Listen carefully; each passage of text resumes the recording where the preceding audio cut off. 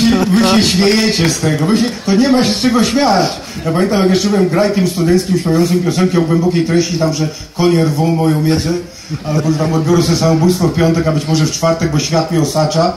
Kiedyś tam grałem jakiś koncert na żywo w studiu Radia Olsztyn i potem pytam Ryśka, jak tam ta moja gitara, poprawiłem się trochę? A Rysiek mówi, w C-durze jesteś lepszy. Zerknijmy proszę do przeglądu fotografii, który obrazuje życie naszego jubilata. O, Ryszard Schmidt. Nie wiem, czy poznajecie go. Chyba nikt go nie poznaje. Zaczęło się 45 lat temu. Młody Ryszard Schmidt, jeszcze wówczas, to może szkoła podstawowa, nie, to już nie była podstawówka. E, Podstawówkę kończył e, w Olsztynie, dwójkę, potem zaczął naukę w jedynce w liceum numer jeden na Mickiewicza.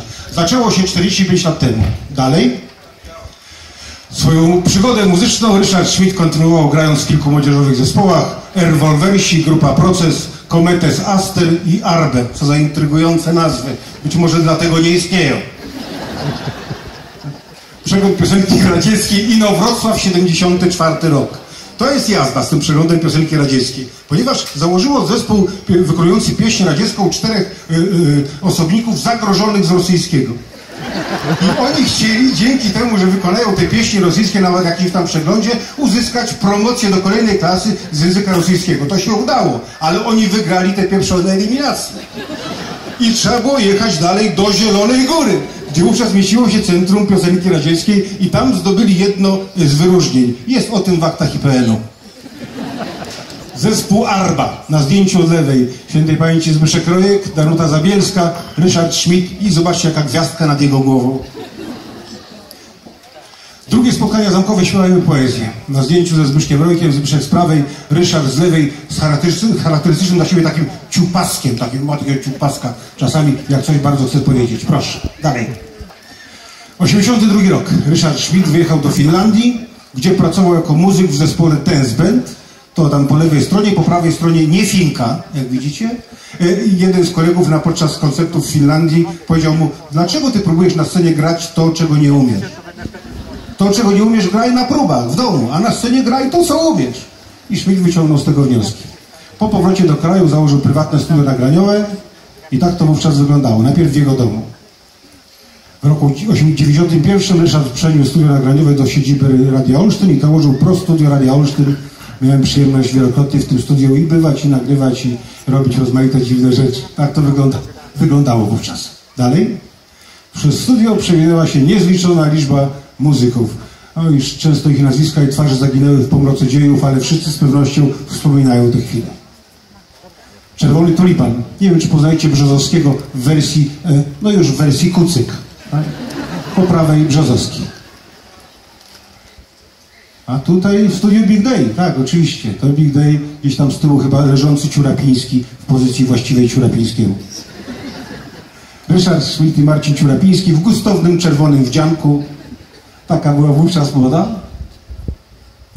Grzech Piotrowski i Tomek Szymuś. Tomek Szymuś, znakomity aranżer, szef, y, band leader, znany chociażby z tańca z gwiazdami. Grzech Piotrowski, saksofonista, y, y, jeden z liderów polskiego środowiska jazzowego w tej chwili. Młodzi, przystojni, utalentowani, w nerwia to. Edyta Górniak. Jej twarz trochę się zmieniła. I Ryszard Schmidt. Jego twarz też się trochę zmieniła. Ale u innego lekarza. Podczas realizacji nagród.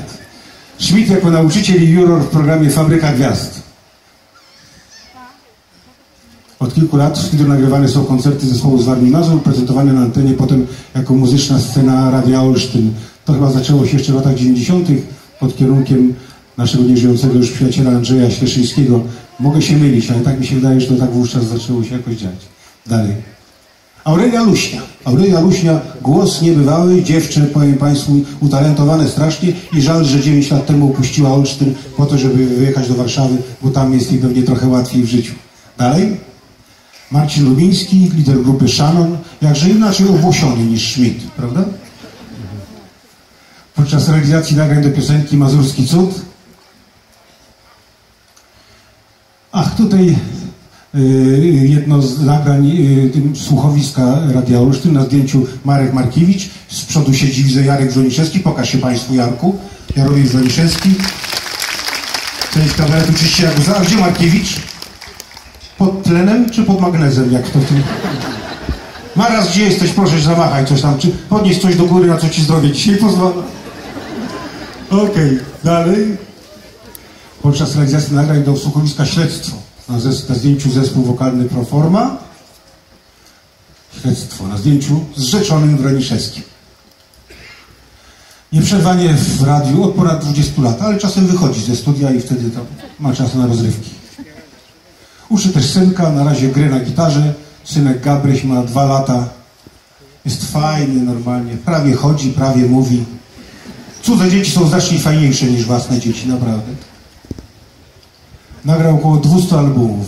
To niektóre z nich. Kasia Cerekwicka, Krzysztof Krawczyk, Hunter, Edyta Górniak, Manam, lata spędził Harlem, Enej spędził w tym studio z Koru i z z nieożałowanym Markiem Jackowskim, Ryszard Rynkowski, po prawej stronie jakaś rozebrana kobieta wstydzę się. Big Day i Stare Dobre Małżeństwo to też macierzyste studio Starego Dobrego. Wszystkie ich płyty chyba powstawały tutaj, albo przynajmniej większość. Zresztą z Krzyśkiem Myszkowskim spotkamy się później. Bogusław Morka, wybitny polski tenor, również tutaj był. I tutaj też zaczynał Norbi, kobiety są gorące, swoją karierę e, e, nagraniową. Z okazji 60-lecia 60-lecia urodzin, 45-lecia twórczości życzymy Ci, Rysiu, wielu pięknych dźwięków. Mamy nadzieję, że tak będzie. Następują burzliwe oklaski. Widzę, że zespół młodzieżowy jest gotowy do występu. Wiecie, wiecie Państwo, to jest najbardziej, najbardziej trudne w pracy tak zwanego konferencjera, że wychodzą na scenę tacy ludzie jak on, jak oni, trzeba im zrobić dobre wejście, czyli załatwić im oklaski. Młodzi, przystojni, utalentowani, nienawidzę ich po prostu. A jeszcze, a jeszcze przynajmniej dwóch ma niedowagę. To jest też denerwujące. To jest zespół, który za chwilę będzie towarzyszył Aurelii Luśni. Mówiłem Państwu, Aurelii opuściła Olsztyn 9 lat temu, mieszka w Warszawie, naucza śpiewu, koncertuje, nagrywa płyty. Wybitna to wokalistka i dziewczę przeurocze. A razem z nią na gitarze Paweł Stankiewicz, gitarzysta nie jaki, Adam Grzelak na perkusji ziesłową, Paweł Bomert na basie i Piotr Manaszek na instrumentach klawiszowych. Aurelia Luśnia.